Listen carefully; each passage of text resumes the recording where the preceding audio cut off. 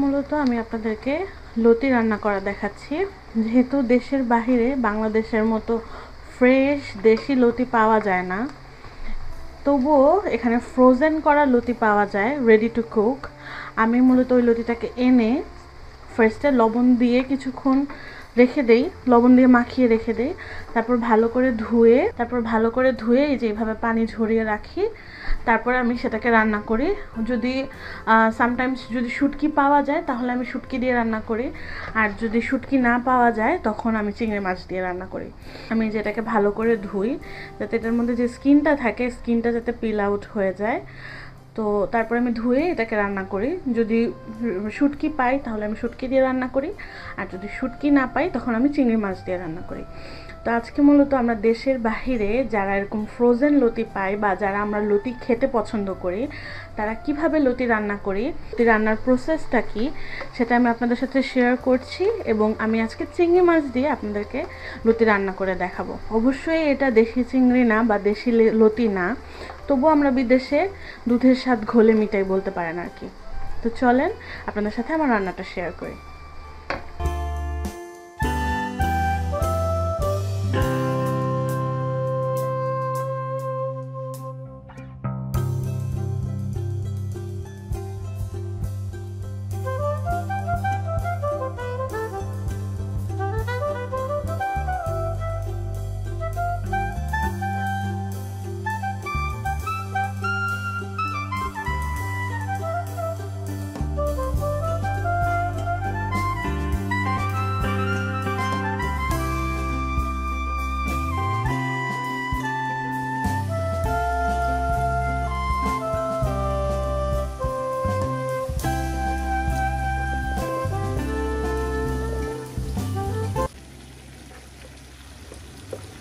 আমি এখন লতিটা অ্যাড করে নিচ্ছি।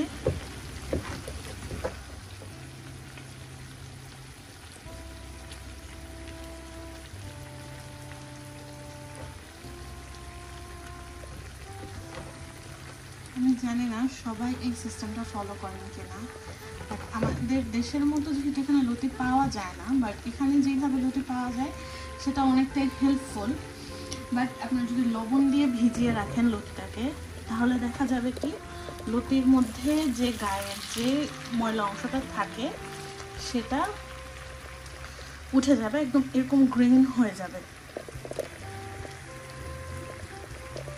এখন আমি লবণ অ্যাড করে নেব।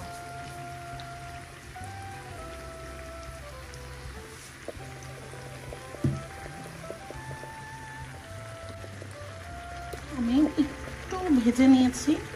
চিংড়ি মাছ দেওয়ার পর লতিটাকে। এখন আমি লতিতে কাঁচামরিচ এবং অনেক বেশি পরিমাণে রসুন অ্যাড করব।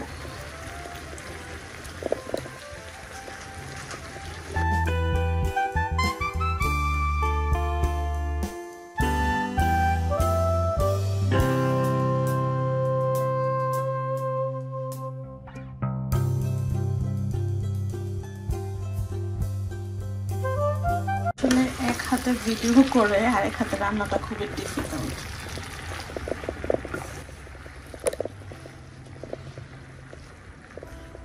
এবার এটাকে আমি ঢেকে দিব এবং এটাকে কষতে দিব অ্যান্ড দেন আমি আপনাকে পরের লোকটা দেখাচ্ছি।